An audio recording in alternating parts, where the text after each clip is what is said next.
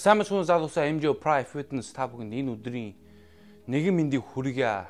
Тэгээ өнөөдрийн имчилгээр би та бүхэн өөрхийн хувийн 3 толгойнхоо дасгалын орой хуваалцъя гэж бодож байна. Тэгээ би 3 толгойнхоо дасгалын орой гарахтаа юунд анхаардаг, юуг чухалж үздэг тухай бас ярих гэж бодож байна. Тэгэхээр би 3 толгойнхоо дасгалын орой хийхдээ гарахтаа би нэгт болохоор өөр өөр өнцгөөс хийхийг чухалчилж үздэг. Хоёрт болохоор өөрөө өөртөө таарсан тохирсон зөв тасглаа сонгохыг бол чухалжиж анхаардаг.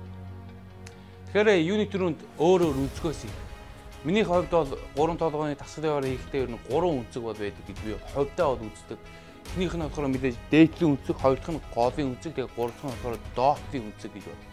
байдаг гэж би бол хувьдаа үздэг. Тэгэхээр би 3 толгойнхоо тасгалын орой би хийж зохиож гарахтаа би энэ 3 өнцгийг гурвыг нь оруулсан дасгалын ойр гарахыг чухалчилж үздэг.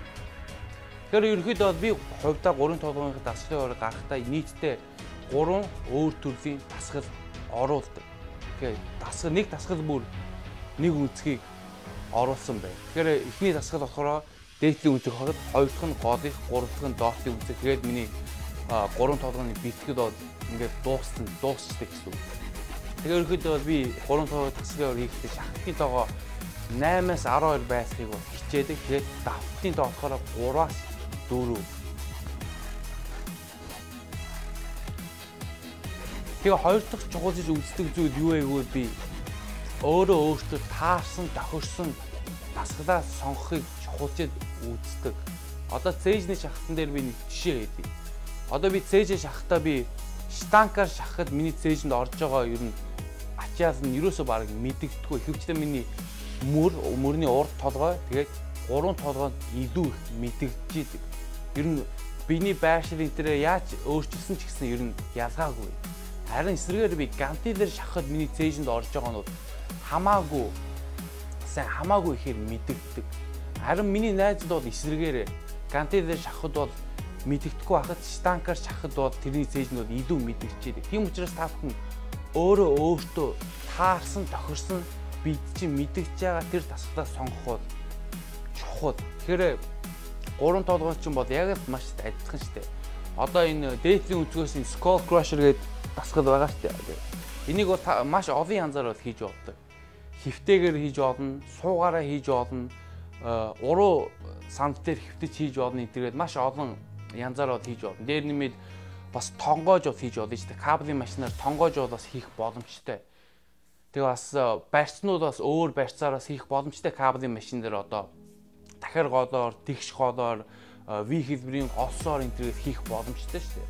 Тийм учраас та бүхэн яг аль дасгал, аль э, барьц энэ төрөйг хийсэн өөрийн чинь гурван толгойд чинь бас өөр чинь хамгийн сайн тохирч мэдрэгж чинь яг трийгээ сонгож тэргээр хийх нь бол өөрийн чинь гурван толгойн хөгжил бол хамгийн чухал гэж би бол үзэж байна.